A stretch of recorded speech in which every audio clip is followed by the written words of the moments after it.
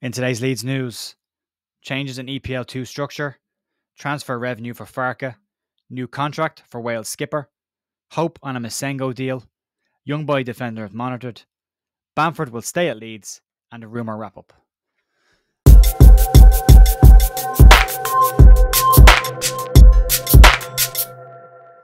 Hey folks, Ger here at the View on the 25th of July with your Leeds United news Wednesday morning. Hope everyone's having a really good week so far. It feels so quiet right now that something could potentially happen any minute. And there are some dominoes that look like they're starting to fall that might position Leeds for some moves. We'll get to that in a few minutes. Also, just a reminder the competition to win a Leeds United shirt is still going on this month. It finishes in a couple of days' time. Um, all you got to do with, to be in with a chance of winning one of two Leeds United shirts is to like the daily videos, subscribe to the channel, and that'll be enough. We just passed 14,000 subscribers, so massive thanks to everyone that's got involved in this as well to help with that. Um, and more details at the end of the video as well. So let's crack on again to the news. And we'll start off with changes to the EPL structure. And a couple of months ago, or last month, we gave some information around potential changes to the EPL structure. Leeds have been promoted from EPL 2 Division 2 into EPL 2 Division 1.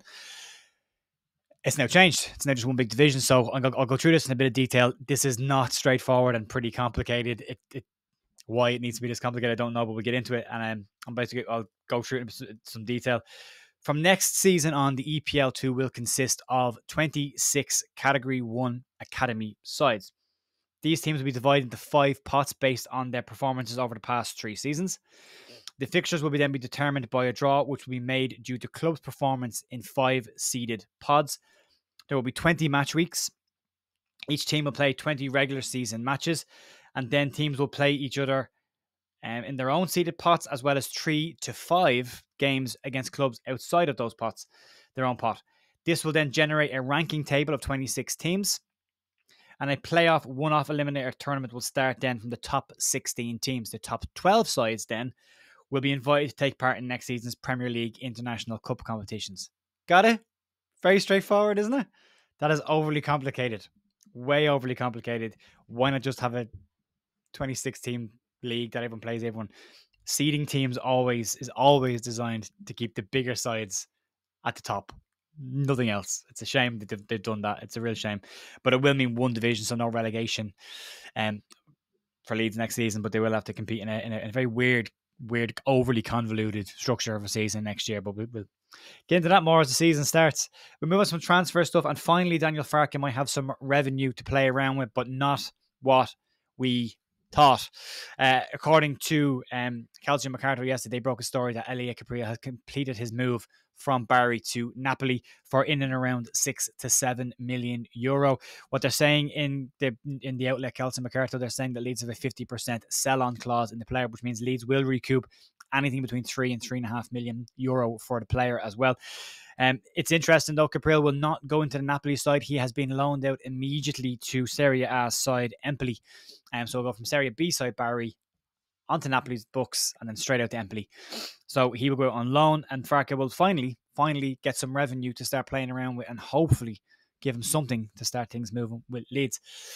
Um, new contracts in the works, and um, congratulations to Charlie Crew, who has signed his first pro deal at Leeds United. The under 21 player has impressed at Leeds last season, and well, every year he's been at Leeds at different age groups.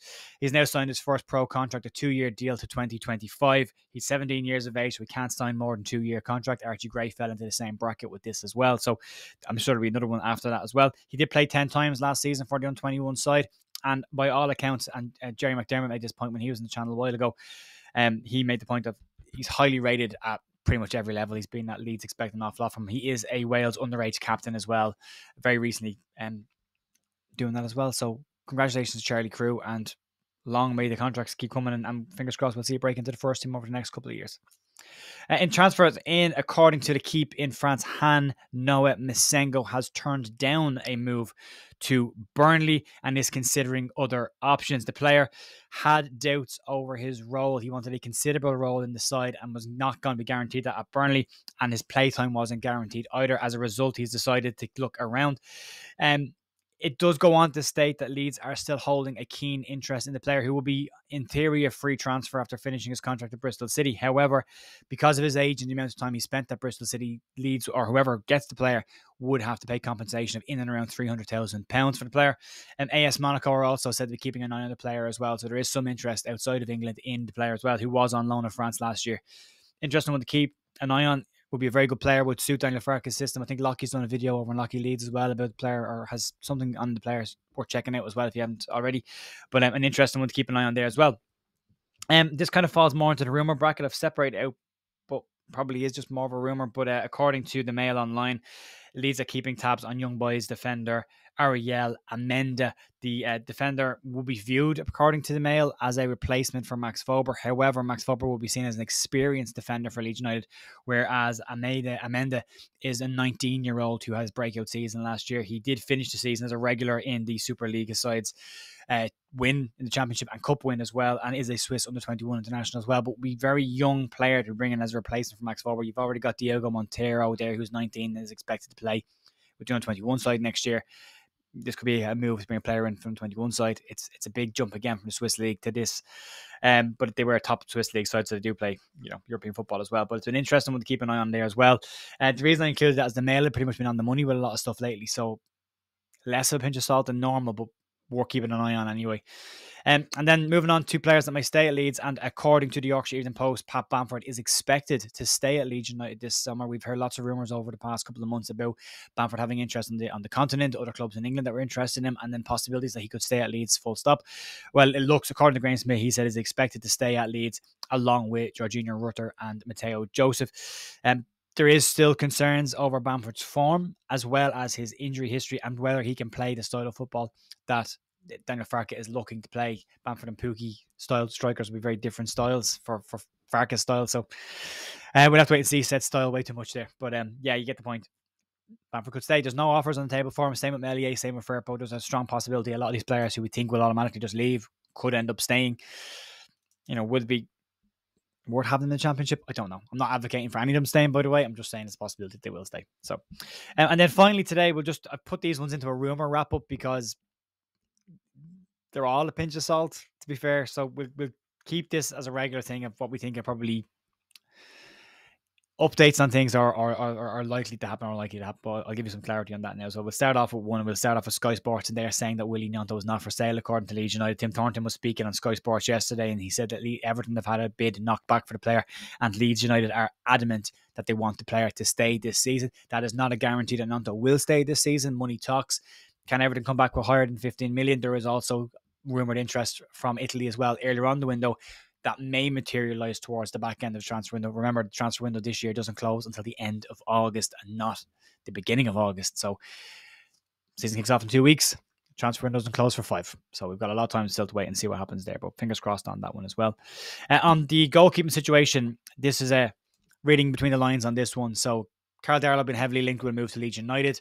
He also has been strongly linked with a move towards Bournemouth. A lot of people saying this week that the deal to Bournemouth was pretty much all done and dusted. Terms were agreed. But it's now come out um, that Bournemouth have agreed a deal with Inter goalkeeper Andrei Radu. The Romanian goalkeeper will come in on an initial one season loan to Bournemouth with an option to buy after that. That means potentially that the move from Karl for Darlow to go to Bournemouth could be off unless he's going in as a backup goalkeeper. That would give them three goalkeepers. Would Darlow go from being a second choice keeper at Newcastle to a third potentially choice keeper at Bournemouth? That remains to be seen. It could potentially open up um, the move to Leeds United for Karl Darlow as well. But again, that's the rumour mill. It's all rumour stuff right now. We have to wait and see what happens on that.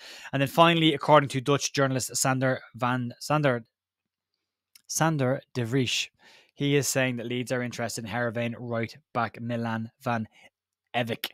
And what they've said about Ewijk is that Coventry have had two bids for the player rejected. They're still keen to bring the player in, but Leeds United are now said to be interested in it as well. That's in there as a rumor because it's a right back. Cody Drameh, who looks like he's going to play this season from the start. You've got Luke Ayling there as well. Overstocked in right back. And if Sam Byram does manage to get a contract at Leeds United, you've got an option there for right or left backs as well. So do Leeds need a right back? Probably not. So do I think that's real? Probably not, but we have to wait and see. Um, I expect things to start moving at some point. I keep saying this every day. I know I do. I know people are getting bored listening to me say this, but has to happen at some point, doesn't it? Can't start the season with the squad that we have. It's not ready. So we'll have to wait and see. But um, that's going to be it for today. Remember, if you do want to win a Leeds United shirt, we're going to be doing the draw in a couple of days' time. Like the daily videos, subscribe to the channel. Make sure you do both because if you like the videos and you're not subscribed, you can't win. So that's the terms and conditions. So make sure you get on that as well. And um, we'll do a draw in a couple of days' time when the, the month is over. And then I'll contact people and I'll announce it on the channel I'll, I'll, contact each person on the back end as well and arrange to get delivery to you guys as well directly. So that's going to be it for me today. Um, have a fantastic Wednesday, and I will see you tomorrow for more Leeds news. Have a great day. Bye.